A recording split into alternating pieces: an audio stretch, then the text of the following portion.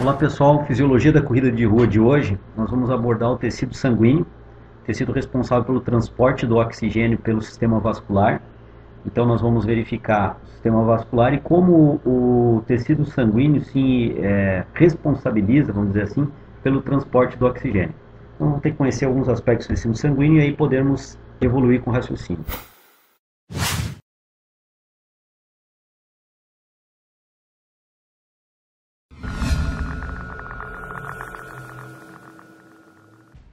Primeira coisa, nós temos que entender que o tecido sanguíneo apresenta alguns elementos.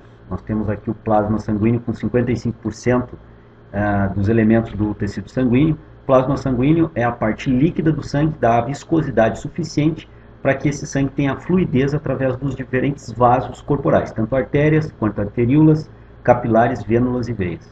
Também existem os leucócitos, que são os glóbulos brancos do sangue, responsáveis para, pela defesa do organismo é, incorporando-se ao sistema imunológico do corpo. Nós temos também as plaquetas, que são responsáveis, junto com outros elementos, de fazer a coagulação sanguínea. Nós podemos ver que os glóbulos brancos e as plaquetas, em seu somatório, representam aproximadamente 1% de toda a quantidade dos elementos do sangue, e o plasma sanguíneo a maior quantidade, em torno de 55%.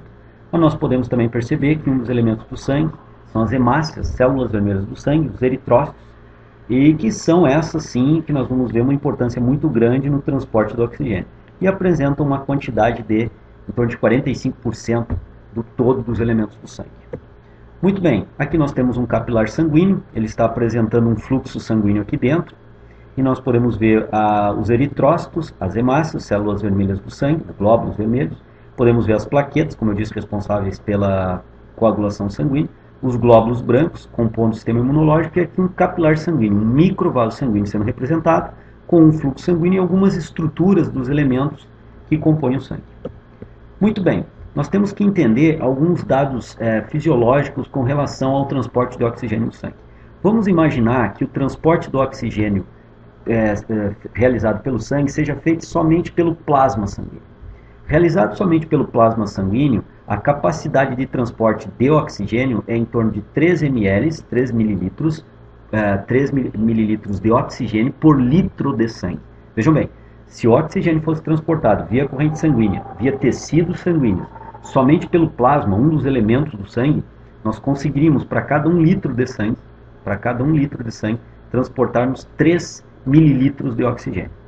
Partindo do pressuposto, entendendo que um adulto médio de 1,70m possui 5 litros de sangue no corpo, SG, quando eu coloco SG é sangue, o valor total de oxigênio possível de ser transportado via somente plasma sanguíneo seria de, seria não, é de 15 ml de sangue.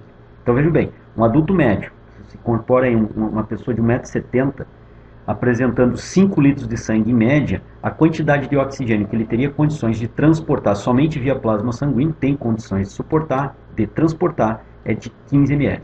A pergunta é, esse valor de 15 ml é suficiente para manter a vida do organismo e também para suportar exercícios físicos? Se nós olharmos aqui, esse valor de 15 ml, ele sustenta a vida somente por 4 segundos se nós pensarmos também em repouso, vejam bem, não é nem esforço físico, uma situação em repouso, teriam que circular pelo corpo em torno de 80 litros de sangue a cada minuto, a cada minuto, para que nós pudéssemos ter uh, uma, uma, um suporte de oxigênio suficiente a manter a situação de vida do corpo em repouso, se nós partíssemos para o transporte somente através do plasma sanguíneo. As moléculas aleatórias. Então nós podemos chegar à conclusão que o transporte de oxigênio feito pelo plasma sanguíneo ele é irrisório frente às necessidades de oxigenação dos tecidos corporais. Nós podemos nos perguntar nesse momento, então para que ou qual a função desse oxigênio dissolvido no plasma sanguíneo? Teria alguma função fisiológica? Sim, teria. As moléculas aleatórias de oxigênio dissolvidas no plasma sanguíneo, elas estabelecem os valores de pressão parcial de oxigênio no sangue. Essa pressão parcial de oxigênio no sangue, nós vamos estudá-la em outro vídeo. Vou trazer para vocês essa informação em outro vídeo. Por enquanto, nós ficamos então com a conclusão que somente o plasma sanguíneo é ineficiente para o transporte de oxigênio. Surge então as hemácias, as células vermelhas do sangue, como um outro elemento do sangue capaz de transportar o oxigênio. E vejam bem, numa capacidade de 60 a 70 vezes maior que o plasma sanguíneo.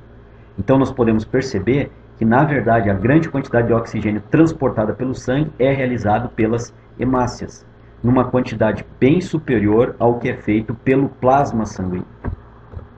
Analisando agora as hemácias, células vermelhas do sangue, nós temos que entender que dentro dessas hemácias existem hemoglobinas, proteínas denominadas de hemoglobinas, e dentro dessas proteínas denominadas de hemoglobina, aqui nós podemos perceber ferro, o elemento químico ferro associado, aqui está a simbologia, associado a uma proteína, a uma proteína que está dentro da hemácia. A célula vermelha do sangue apresenta uma proteína chamada hemoglobina e essa proteína hemoglobina apresenta o ferro. É neste ferro que o oxigênio irá se conectar, se fixar durante o transporte via uh, hemácias. Então nós podemos ver que cada é, hemácia apresenta a proteína hemoglobina e essa proteína hemoglobina apresenta quatro campos, quatro nichos de ligação de oxigênio. Cada litro de sangue captura, é capturado aproximadamente 195 ml de oxigênio. Formam o que a gente chama, quando se liga o oxigênio à hemoglobina, nós chamamos de oxihemoglobina. Oxigênio mais hemoglobina, oxihemoglobina. Isso independe de ação enzimática, depende, na verdade, de outros fatores que nós vamos estudar futuramente. Mas o que nós temos que ter é, é, sabidos nesse momento é que cada litro de sangue, cada litro de sangue é capaz de transportar 197 ml de oxigênio e com isso o grande aporte de oxigênio, tanto em repouso quanto em esforço físico, é feito por essas hemácias, células vermelhas do sangue, e aí nós podemos perceber a grande importância das hemácias para o esforço físico, particularmente o aeróbio. Nós vamos estudar então e vamos ver eu vou trazer para vocês em outras postagens a dissociação, a curva de dissociação da hemoglobina liberando oxigênio para uso no organismo. Isso vai ficar para uma próxima postagem.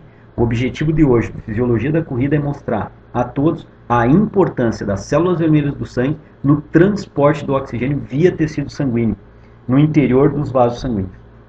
Fica claro, então, que o plasma sanguíneo tem a sua importância dentro de uma dinâmica fisiológica, mas, em termos de transporte de oxigênio, a importância fisiológica se faz através das hemácias, células vermelhas do sangue, na sua grande quantidade. Qualquer patologia que interfira na produção dessas hemácias ou na vida, na meia-vida dessas hemácias dentro do organismo, irá afetar de forma significativa a capacidade de oxigenação dos tecidos musculares, dentre outros tecidos, e isso afetará também de forma significativa, por correspondência, a capacidade aeróbica de treinabilidade do indivíduo. Isso também nós iremos abordar em outros vídeos. Também o treinamento torna-se importante nós pensarmos em adaptações crônicas do treinamento aeróbio nas hemácias também, aumentando a sua quantidade no tecido sanguíneo através do treinamento, da estimulação do treinamento, nós somos capazes de aumentar a capacidade de transporte de oxigênio via tecido sanguíneo e, obviamente, isso terá uma repercussão positiva no condicionamento aeróbico do indivíduo, uma repercussão positiva no seu VO2 máximo. Por hoje era isso. Um grande abraço. Até terça-feira que vem.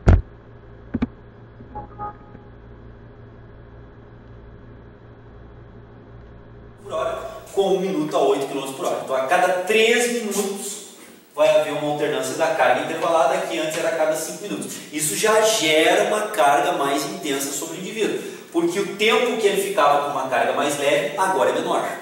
Então a carga total da configuração já cresce. Nós temos uma evolução da carga total.